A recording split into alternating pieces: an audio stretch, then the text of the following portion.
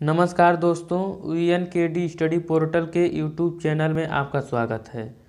तो दोस्तों, आज हम सब इस वीडियो में जी के जी एस से संबंधित 20 अति महत्वपूर्ण प्रश्नों के बारे में पढ़ेंगे।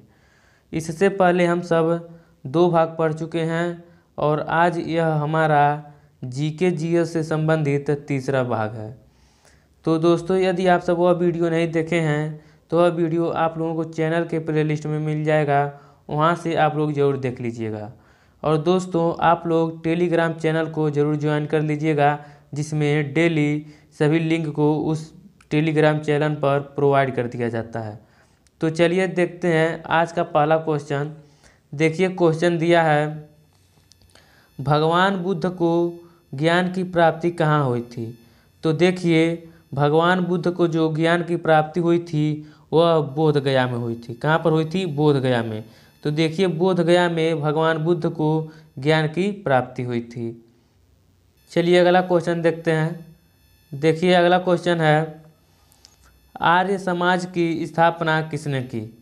तो देखिए, आर्य समाज की स्थापना जो है, स्वामी विवेकानंद जी ने किए थे। तो देखिए, आर्य समाज की स्थापना किसने किए थे? तो देखिए, आर्य समाज की स्थापना जो है, स्वामी दयानंद ने किए थे। तो देखिए अगला क्वेश्चन दिया है। पंजाबी भाषा की लिपि कौन सी है? तो बताइए पंजाबी भाषा की लिपि कौन सी है?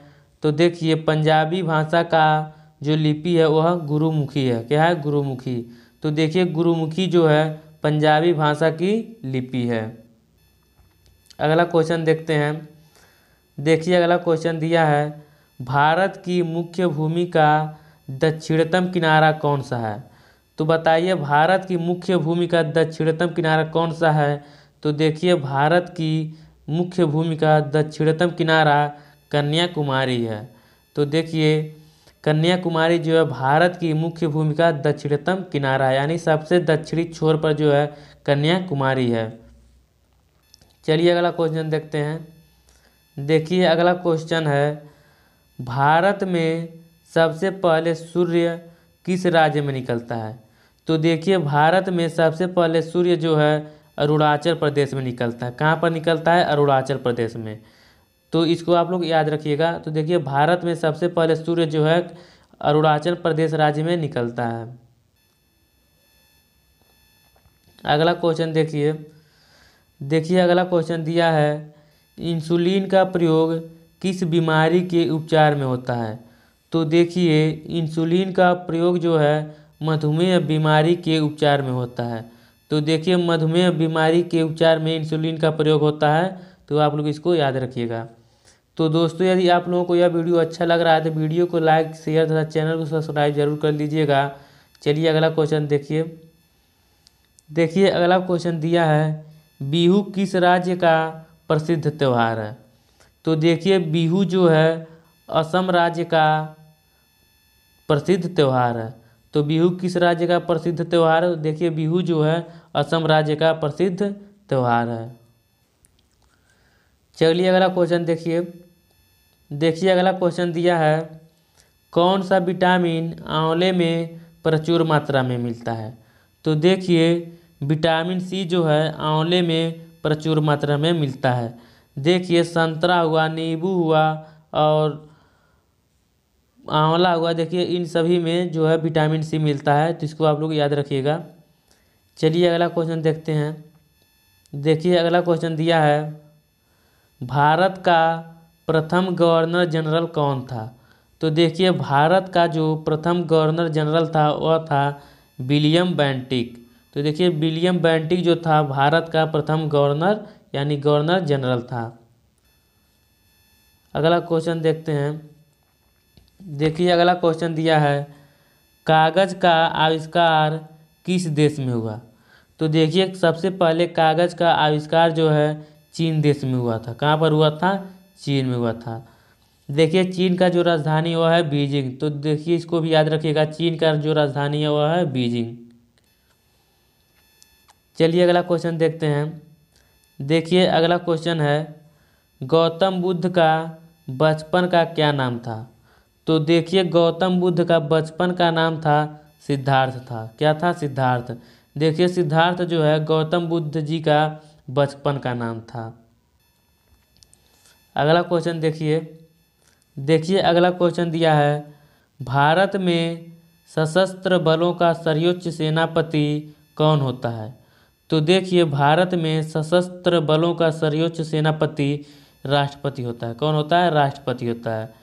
तो देखिए, ये वर्तमान समय में भारत के जो राष्ट्रपति हैं, वो हैं रामनाथ कोविंद। कौन है? रामनाथ कोविंद जो हैं वर्तमान समय में भारत के राष्ट्रपति हैं। इसको भी आप लोग याद रखिएगा। तो चलिए अगला क्वेश्चन देखते हैं। देखिए, अगला क्वेश्चन दिया है। तो देखिए, रतौधी किस विटामिन की कमी सी होती है? तो देखिए, रतौंधी जो है, विटामिन ए की कमी सी होती है। किससे होती है? विटामिन ए की कमी से रतौंधी होती है। चलिए अगला क्वेश्चन देखते हैं। देखिए अगला क्वेश्चन दिया है, पोंगल किस राज्य का त्यौहार है? तो देखिए, पोंगल जो है, वह तमिलनाडु राज्य का त्यौहार है। तो इसको भी आप लोग याद रखिएगा। चलिए अगला क्वेश्चन देखते हैं। देखिए, अगला क्वेश्चन दिया है, गिद्दा और भांगड़ा किस राज्य के लोक नृत्य हैं? तो बताइए, गिद्दा और भांगड़ा किस राज्य के लोक नृत्य हैं? तो देखिए गिद्दा और भांगड़ा पंजाब राज्य के लोक नृत्य है। तो देखिए, पंजाब का जो राजधानी है वह है चंडीगढ़। देखिए, आप लोग इसको याद रखिएगा।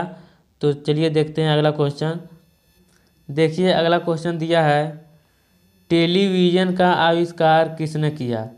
तो देखिए, टेलीविज़न का आविष्कार जो है जी एल वेयर्ड ने किया था। कितने तो जी एल वेयर्ड ने टेलीविज़न का आविष्कार किया था। तो इसको आप लोग याद रखिएगा। देखिए, अगला क्वेश्चन है। देखिए, भारत की पहली महिला शासिका कौन थी? बताइए, भारत की पहली महिला शासिका कौन थी? तो देखिए, रजिया सुल्तान जो है, भारत की पहली महिला शासिका थी। तो इसको आप लोग याद रखिएगा। अगला क्वेश्चन देखिए। देखिए क्वेश्चन दिया है, मछली किसकी सहायता से सांस लेती है? तो बताइए, मछली किसकी सहायता से सांस लेती है? तो देखिए, मछली जो है, गलफड़ों की सहायता से सांस लेती है। किससे सांस लेती है? गलफड़ों की सहायता से मछली जो है, सांस लेती है। चलिए, अगला क्वेश्चन देखते हैं।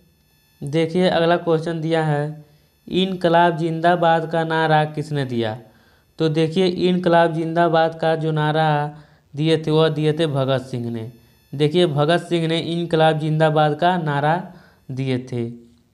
चलिए, अगला क्वेश्चन देखते हैं। देखिए, आज का यह हमारा अंतिम क्वेश्चन है। देखिए क्वेश्चन दिया है, जलियावाला बाग हत्याकांड कब व कहाँ हुआ था?